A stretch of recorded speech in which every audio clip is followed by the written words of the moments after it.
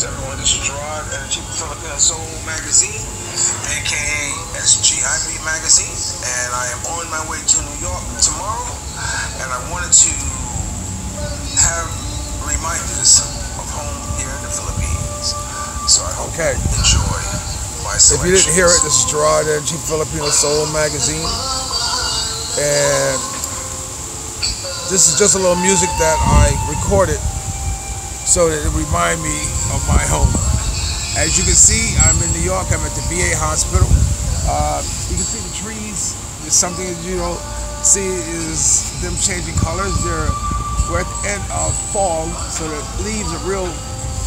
The leaves are real burnt and dark. You can see them like this. But anyway, I just wanted to stop and just say hello to all, all my Filipino friends.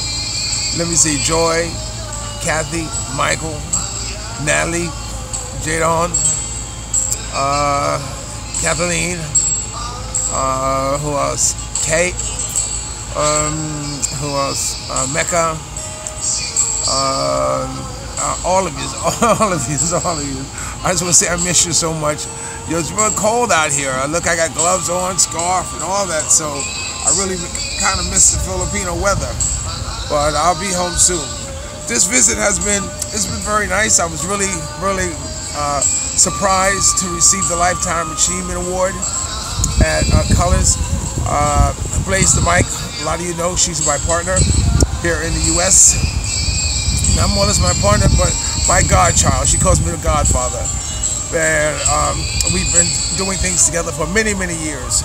So it was a real surprise for her to give me. I didn't show you the plaque that she gave me, but at least you did see the the uh, the uh, the statue. You know, the trophy, the accolade, the accolade she gave me, which was really nice.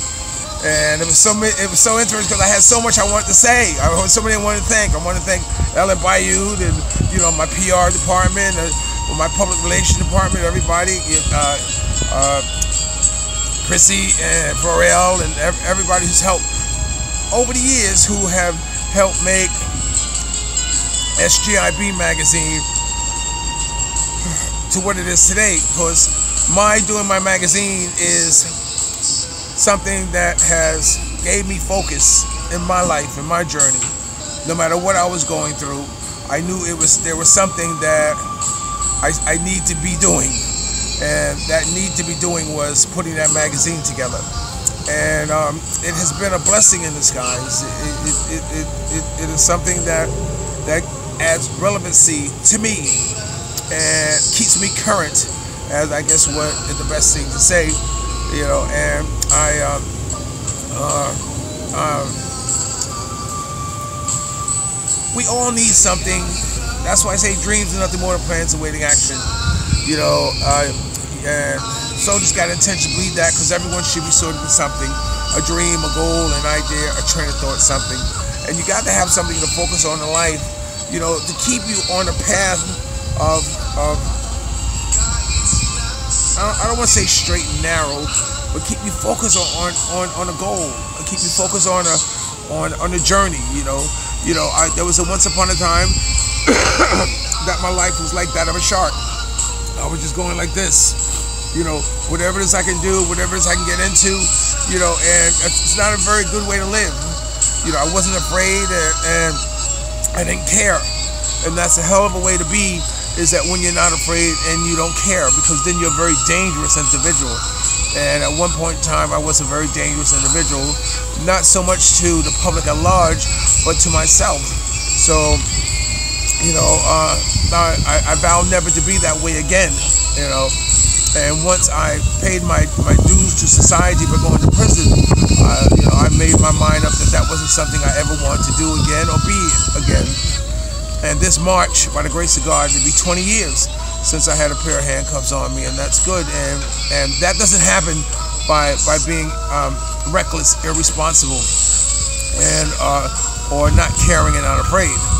You know, I have a friend of mine. He's contacted me uh, while I'm here in New York, and you know he wants to get together, blah blah. And I can just tell by by the tone and, and by the energy that he was putting out that this is someone who, although we shared a past, it's not something I want to have in my future because that path may lead into something that that I'm not really prepared to deal with the consequences of it. So it's also being a consequential thinker. A consequential thinker is one who thinks about the consequences of your actions. You know, so uh, so I do that today. I think about the consequences of my actions. You know, uh, tomorrow's Thanksgiving here. You know, I'll be spending it with my family.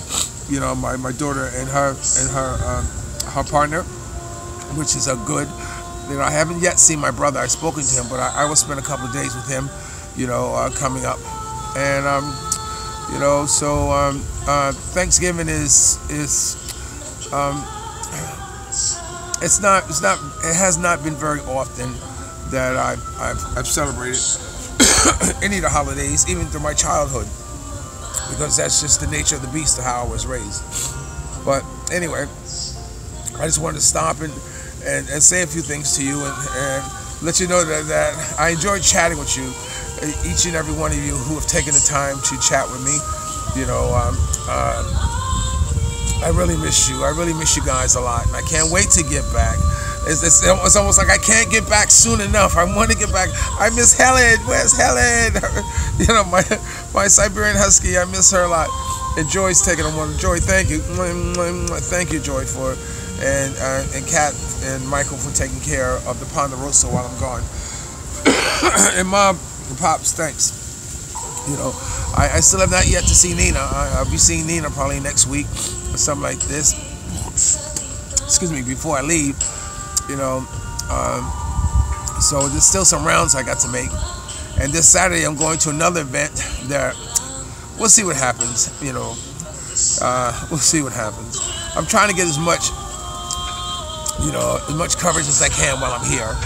You know, uh, I'll be on the radio uh, on the 4th, so they'll be interviewing me on the 4th at the radio station, so I'll be there doing that too. So it feels good. You know, it feels good to be recognized for, you know, for um, uh, for being me. You know, for for my recognizing all, you know, me, you know, doing what I can to help others achieve their dreams and their goals, similar to what Bonnie Hilton Sweeney did. Bonnie, who is the founder of the Pre-Grammy Party, and who was also Mr. James Brown's um, uh, manager and editor of his magazine called The Truth and the pre-Grammy party, you know, was a was was created at a time when when uh, blacks weren't allowed to get their Grammys live, and they had to be pre-recorded. And Maurice White, who was the founder of Earth, Wind, and Fire, who were the powerhouse at that time, just decided that it wasn't going to happen. They couldn't receive theirs like the white boys were, here wasn't going to do it. and Bonnie single-handedly, you know, at the time, Clive Davis's Grammy party was the, was the place to be. But uh, Bonnie, who also worked with Playboy, I can't say single-handedly with Bonnie because she had Colamita Pittman, who was uh, was uh, a partner of hers, who was uh, a close confidant and a backer of the pre-Grammy party.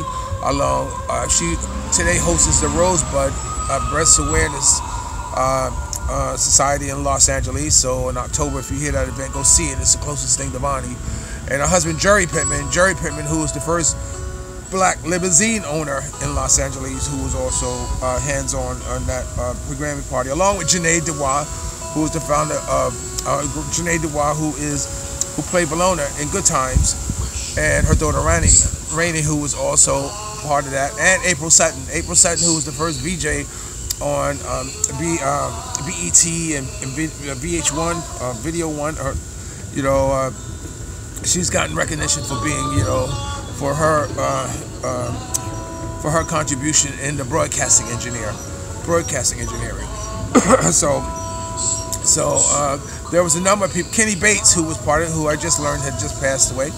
You know. Um, so anyway, so Earth, Wind, and Fire and them had. Uh, so Bonnie had decided to uh, what she uh, I mentioned that she worked for Hugh Hefner for public relations. If there was a party going on and if Bonnie Hilton Sweeney wasn't doing your your your guest list, you know, then chances are your number of A-listers were, dwindling down to only a few because everybody wanted to be what Bonnie wanted to be, similar like my mother. That's why I love her so much, you know. So anyway, so uh, uh, Bonnie decided to put the pre-Grammy party together, and uh, it, it's very interesting how she did. She did it in a banquet room around tables of ten. this is why this is why I paid homage to Colors because Colors International, you know, she's doing the same thing. She's created a venue for up and coming artists to have a place to network, where people can network and and and help one another and uplift one another and support one another. Well, Bonnie had did it around tables of ten, so you know it, it was no problem going up and talking to the Godfather Soul, Mr. James Brown. There was no problem going talking up to the O'Jays. There was no problem going talking up to um, um, Judge Mablean. you know, it was funny. The reason I chuckle because when I went to the Grammy party, I saw Judge Mablean. I said, "Oh, I know who you are. You're Judge Judy." She said, "No, that's the white one." I said, oh, "I'm sorry. I'm sorry. I watched a lot of them on TV, but I didn't know their names." You know. So anyway, so uh, so that's what made her you know, uh, Joe Jackson was a, a, a, permanent fixture there who just passed away. God bless him. You know, and um, he would always be showcasing his new female group because Joe Jackson he kept busy, always having a female group to showcase there. So, um, you know, so so that's what made the pre-Grammy party such a success, and it went on for many, many years, many years until she passed away. And it's unfortunate that when people have created these these these these venues that that, that that, that provided so much for so many people that when they go, the organization goes or the venue goes. And uh, you know, uh, I try to carry it on in, in, Los Angeles, in Las Vegas. You know, uh, you know the story. I'm not going to, to go into that, but um, I, I, know how much she meant to me and, and in my life. You know, and, and everything. Matter of fact, she was the reason why my magazine came about because I was the East Coast representative of the Godfather Soul magazine, Mr. James Brown. You know, and uh, I told her I want to put a magazine together, and she said, "Oh, call this person." I called, and his name's Harry Wrangler, and Harry Wrangler said, "Bonnie told me you called." I said, "Yes." So he said, "What do you want?" And I said, "Oh, well, Harry, I want to put a magazine together." He said, "Wait." And then he gave me another number. He said, "Call this number," and I called this number, and it was Greg Miller. And he said, Harry turned to call me. He said, Yeah, well, what do you want? He says, I said, I want to put a magazine together. He said, Wait, say no more.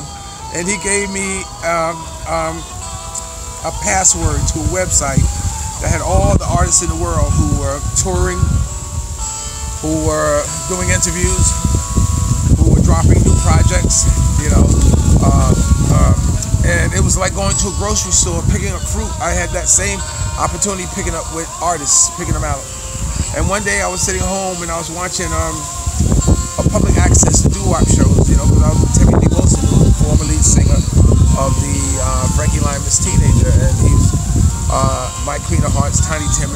And whenever he did his projects alone, I opened up for him by introducing him. And uh, uh I was watching it, and then after the end of the, the broadcast, the first name I saw on the screen was produced by Harry Wrangler, and I had no idea that that's who it was I was talking to. So that's the importance of that's the importance of networking. And you know, it's not a matter about you know what you can do with someone and what you can get out of it. It's a matter of, of what can you do for someone to help them achieve their dream and their goal. And you take self pride in knowing that you help someone pass on to the next step. You know, so that's how the pre-Grammy party came about. And, and uh, um, with Earth, Wind, and Fire being the powerhouse and refusing, uh, it kind of changed or started to change in how the Grammys started handing out their Grammy awards. And then, of course, with the Jacksons kicking in the door, you know, uh, also they had no other chance but to change how they did things. But anyway, so that's a story that I think that needs to be shared about Bonnie. That Bonnie, you know, she created something that gave black entertainers and performers and people who've done things in the community. Uh, you know, uh, uh, a place to to celebrate their achievements for that year. So, you know, that's why I think she needs to deserve to be in history books. You know, so you won't hear anything spoken about her, and it's unfortunate because of the, the tremendous amount of things that she's done to to bring the black entertainment industry to where it is today. okay, so again, this is Gerard, editor-in-chief of Filipino Soul Magazine. Remember, dreams are nothing more than plans awaiting action. Never disrespect the elderly and always pull someone up. And sometimes, sometimes you'll be the only one to see your vision. And the best revenge in life is to live good. I'm living good today in cold New York. I can't wait to get back to the Philippines, baby. Believe that. And if you haven't got a dream, a goal, an idea, a train of thought, don't worry about it. Do what I used to do. Get as much as you can, as fast as you can, and go home. And remember, I always love you more. And if you're lucky enough to have a woman like Ollie Woodson, former lead singer of The Temptations, once sung, treat her like a lady. And you know, people ask me why I relax my hair, why I keep my hair straight like this, because I want to be the reminder of the Chitlin Circuit. I want to be a reminder of classic soul. You know, I want to, you know, uh, uh, uh, I want to be the representative for that. As being one of the last generations who've seen all five original Temptations perform, you know, um, I want to be that representative. And so that's why I I look the way I do. And I wear my hair the way I do. So I hope you now know that that's what I'm doing. Okay, so again, the best revenge in life is to live good. I'm living good today. I hope you are too. And remember, I'll always love you more. I'll talk to you later. Baby, baby, there'll be more CD uh, videos coming up. Don't forget to subscribe. And as Ellen Bayou, 2016 Daily Showtime winner and public relations for Filipino Soul Magazine would say, hit the bell. We'll talk to you later. Peace.